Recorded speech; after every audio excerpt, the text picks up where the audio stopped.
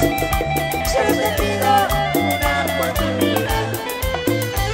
Perdóname por ser como yo soy por ti.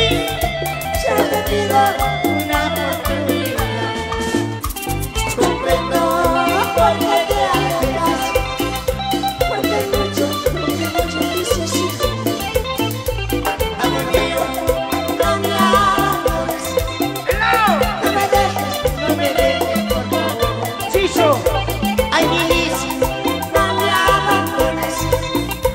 No me dejes, no me dejes, por favor. Dicho Fernando, no me dejes, no me dejes, por favor.